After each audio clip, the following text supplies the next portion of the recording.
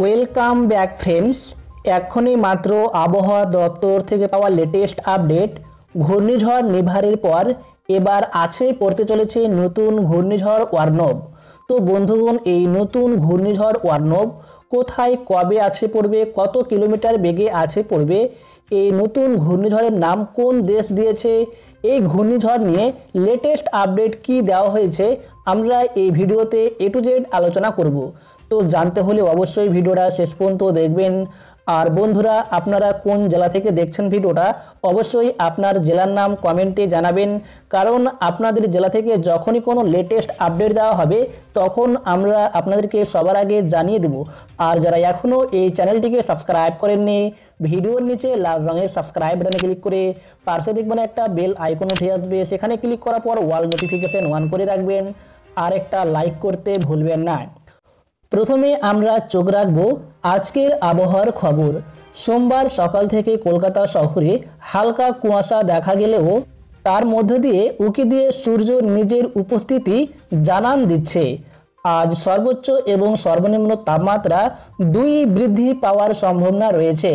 বাংলায় এখনই হাড় কাঁপানো শীতের আমেজের আগমন কবে ঘটতে চলেছে, সে বিষয়ে এখনও কিছু জানা যায়নি।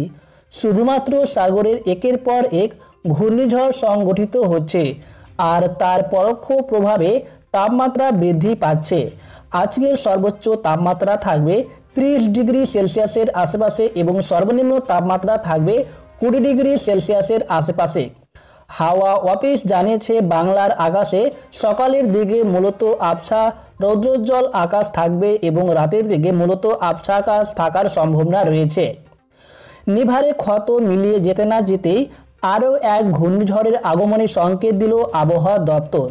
সাগরে সংগঠিত হওয়া ঘূর্ণিঝড়ের নাম ওয়ার্নব। তবে এখনও এই ঘূর্ণিঝড়ের বিষয়ে বিশদে কিছু জানা যায়নি। এর অভিমুখ কোন দিকে রয়েছে, কতটা শক্তিশালী সে সম্পর্কে এখনও কিছু জানা যায়নি।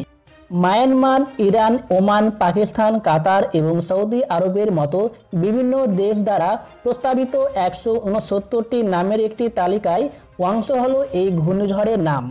এদিকে ডিসেম্বরের এক সপ্তাহ হয়ে গেলেও এখনও কনকনে ঠান্ডার আমেজ টের পেল না বাংলার মানুষ। কখনো তাপমাত্রার পারদ সামান্য নিম্নগামী হলেই পরক্ষণেই তা আবার চড়তে শুরু করছে। তবে বর্তমানে শীতের পথে কাটা হয়ে রয়েছে ঊর্ধ্বগামী তাপমাত্রা। আজ সর্বনিম্ন তাপমাত্রা কিছুটা হলেও বৃদ্ধি পেতে পারে। তো বন্ধুগণ, আশা করি আপনারা বুঝতে পেরেছেন। এই ছিল আপডেট